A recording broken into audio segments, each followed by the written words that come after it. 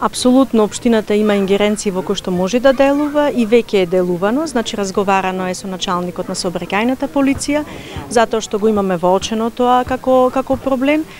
имено постојано имаме присутно лице од општинската администрација кое што е таму за да ги надгледува сите околности, се она што се случува и да промптно реагираме на на сите збиднувања да кажам и на сите потреби кои што се укажуваат во знак на поддршка на локалната самоуправа. Во оваа прилика сакам да апелирам до до сите граѓани, меѓутоа бидејќи телевизија Тера го покрива и поширокиот регион,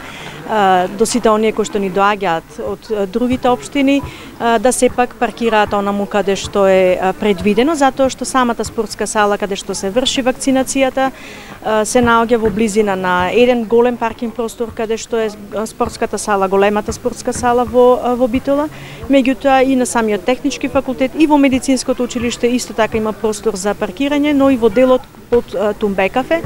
што мислам дека е добра добри алтернативи за користење на тие паркинг простори за да на некој начин вршејќи една добра позитивна работа сепак да не загрозуваме друга во случајот зелените површини кои што исто така ни ни значат.